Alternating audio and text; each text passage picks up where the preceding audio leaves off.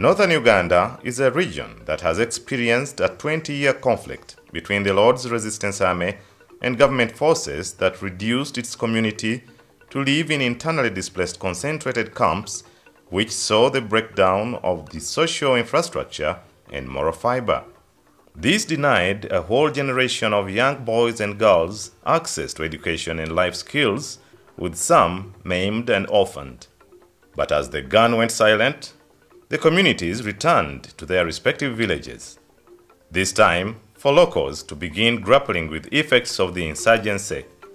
But this situation called for a holistic approach by the non-government organizations to provide immediate solutions to the returning communities to open up land for food security and restore their dignity. With financial support from Comic Relief, a baseline survey was conducted indicating that youths constitute the biggest percentage of population and yet they are uneducated, unskilled, unemployed, and vulnerable. Through a four-year livelihoods project for young people in Uganda, Volunteer Efforts for Development Concerns, VEDCO, in partnership with Heifer International Uganda, decided to operate in Pader district, targeting mainly the youths and vulnerable families with a focus to improving access to sustainable livelihoods to the survivors of LRA insurgency. We are looking at empowering uh, communities or uh, small and medium hold farmers to be food secure, where we are looking at food and nutrition. Uh, communities that should be able to generate income through agricultural trade.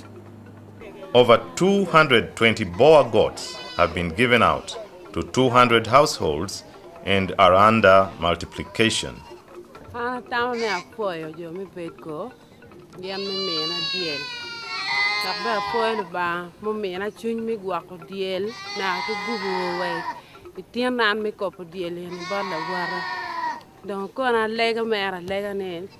Bam yara ku bet ki chuny keto tela kere ngan ma tiena kopo yan diel ku gwak diel ker mana gwako kere ni o wa tiena ni ma bi kopo yan e.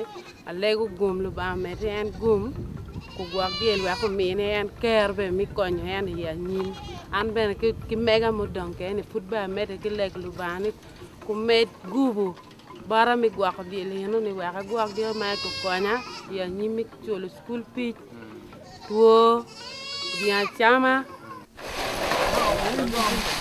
40-year-old Simon Kidega, a resident of Wankol village, Taya Parish, Pader sub-county in Pader district, is now a groundnut model farmer, trained in agronomy and supported by the Livelihoods Project.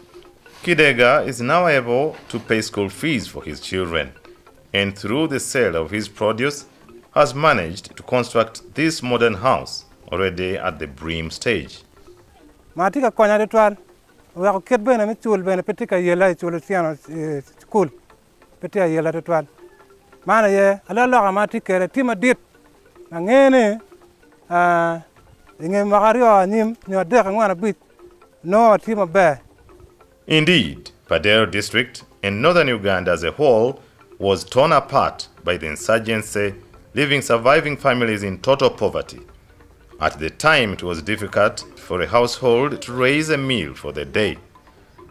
It was very hard for a person to even get 1,000 cedi in a week.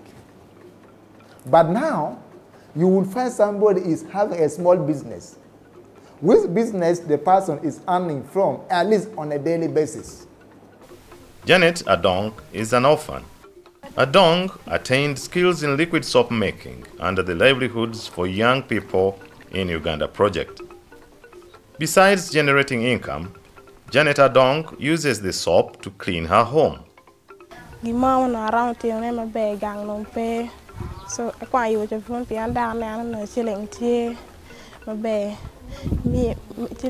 thì chỉ để mà gần mà không pe bên đường yêu luôn, cứ chỉ lúc quan nó đường ngày luôn như thế yalo bana pe nalo mara chulo kwana mari dano pe. Ki gang beno gi mo mana tiyo ma be pe.